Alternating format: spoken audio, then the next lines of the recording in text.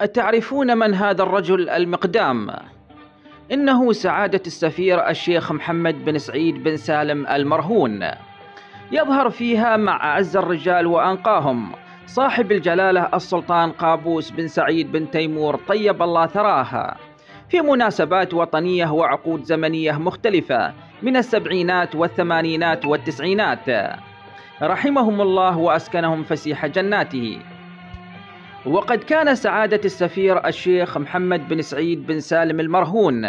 سفير صاحب الجلالة السلطان قابوس بن سعيد طيب الله ثراها في كل من اليمن والعراق وتونس. وكان المندوب الدائم لسلطنة عمان بجامعة الدول العربية.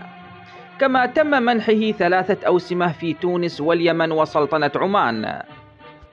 حيث رقي إلى درجة سفير بمرسوم سلطاني رقم 61 على 87 حيث جاء نص المرسوم.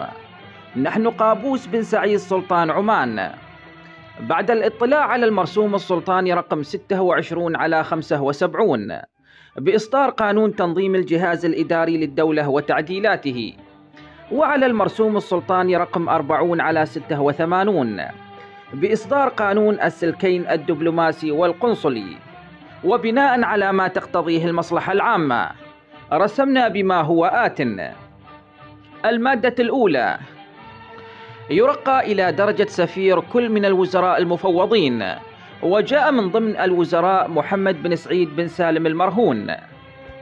حيث جاء في المادة الثالثة ينشر هذا المرسوم في الجريدة الرسمية ويعمل به اعتبارا من 1 يوليو 1987 للميلاد. صدر في التاسع والعشرين من محرم سنة 1408 للهجرة. الموافق الثالث والعشرين من سبتمبر سنة 1987 للميلاد. قابوس بن سعيد سلطان عمان.